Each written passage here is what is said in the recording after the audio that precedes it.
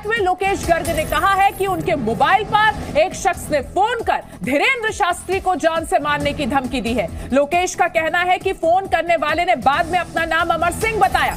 छतरपुर की बमीठा पुलिस ने इस मामले में धारा 506 और 507 के तहत एफआईआर दर्ज कर ली है। तो ये बड़ी खबर धीरेन्द्र शास्त्री को लेकर जान से मारने की धमकी मिली है। बागेश्वर धाम के बाबा धीरेन्द्र शास्त्री को ऐसा उनके रिश्तेदार ने आरोप लगाया है और जो एफआईआर दर्ज की गई है, उसकी कॉपी भी हम आपको दिखा रहे हैं और एफआईआर में क्या लिखा है वो भी जान लीजिए। रात करीब नौ बजकर पंद्रह मिनट पर मेरे मोबाइल नंबर, उन्होंने अपना लोकेश गर्ग ने अपना मोबाइल नंबर इसमें दिया है एफआईआर में, उस पर फ़ोन आया। मैंने फ़ोन उठाया तो दूसरी तरफ़ से कोई अज्ञात व्यक्ति बोला कि धीरेन्द्र से बात कराओ। तो मैंने बोला कि कौन धीरेन्द्र? तो उसने बोला बागेश्वर वाले धीरेन्द्र शास्त्री से। तो मैंने कहा कि हमारी पहुँच नहीं है बात कराने की। दूसरी तरफ़ वाला व्यक्ति फिर उसके बाद आगे बोलता है कि उनकी तेरहवीं की तैयारी कर लेना। मैंने बोला, क्यों कर लेना? आप कौन बोल रहे हैं? मैं आपको नहीं जानता।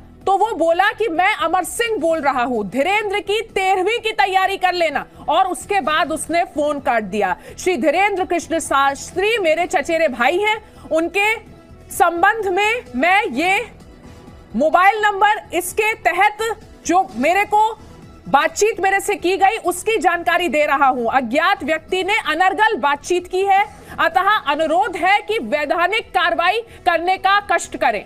अब हम आपको बाबा वीरेंद्र शास्त्री से जुड़े हुए तीन ऐसी वीडियो दिखाने जा रहे हैं, जो कि आपको जानना बहुत ही ज़्यादा ज़रूरी है। आपको बता दें कि पहली वीडियो में आप देख रहे हैं कि बाबा धीरेन्द्र शास्त्री कुछ बोलते हुए दिखाई पड़ रहे हैं, जिसमें वो साफ़ साफ़ है कि वो हिंदू राष्ट्र की बात बोल रहे हैं और अपने धर्म को लेकर बहुत ही ज़्यादा पॉजिटिव रहते हैं।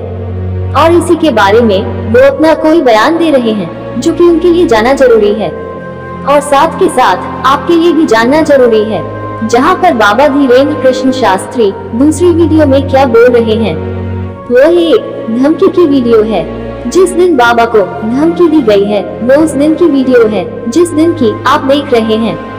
और इस वीडियो के दौरान ही वो धमकी दी जा रही है, जो बाबा को रात सवा नौ मिनट पर एक फ़ोन कॉल के द्वारा दी जाती है, जिसके बाद आप तीसरी वीडियो में देख सकते हैं। कि अब मध्य प्रदेश में जो एफ़ आई आर लिखाई गई है।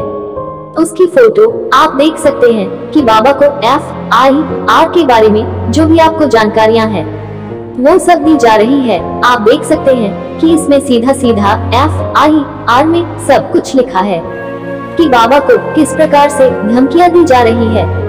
और जिसको भी धमकियाँ मिलती है, वो कोई ना कोई बाबा का रिश्तेदार रहता है। यानी कि इस बार जिस फ़ोन कॉल पर फ़ोन आई थी, वो उनके रिश्तेदार की थी। और जैसे ही ये उनको भनक लगती है कि जो मेरे खिलाफ, यानी धीरेन्द्र कृष्ण शास्त्री के खिलाफ, जो भी एफ़ आई आर दर्ज कराई गई है, वो सब कुछ तुरंत के तुरंत करवाई गई है। और ये मध्य प्रदेश में एफ़ आई आर दर्ज करवा दी जा चुकी है। और जैसे ही मौका वारदात या ये खबर आती है, अपडेट जारी कर दी जाती है कि बाबा को धमकियाँ मिली हैं। वैसे ही सभी पुलिस पूरी तरह से तैनात हो जाती है। और इसके बाद जो भी एक्शन लेना था, वो सब तुरंत के तुरंत लिए गए हैं। दोस्तों, आज की वीडियो में बस इतना ही। मिलते हैं अगली वीडियो में, तब तक के लिए धन्यवाद।